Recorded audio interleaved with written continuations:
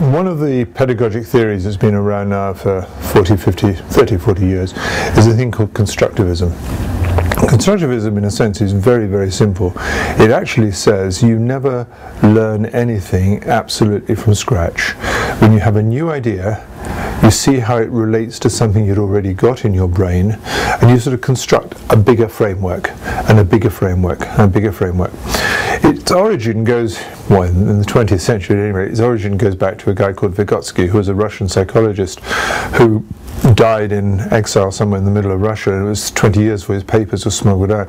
But he spelled out this business that already the psychologists could begin to see that the successful learner is the person who starts off with a pool of ideas that they really understand.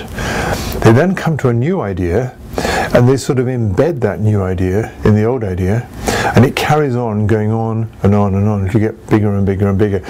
One of the key thoughts that comes out of constructivism is actually a challenge to the, real, to the education system because a constructivist never sees something totally objectively. This is very interesting because modern science and modern lifestyle say don't be subjective, always be objective. A constructivist would say there's no such thing as being subjective. So there was no such thing as being uh, objective.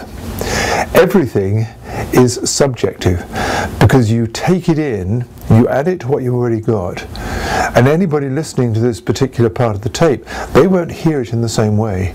No two people will hear the last minute's worth as if it was exactly the same thing.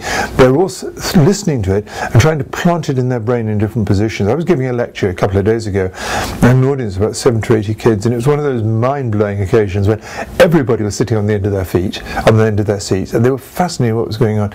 If you tried to get each one of those to write down afterwards what they'd heard, they wouldn't have said the same thing.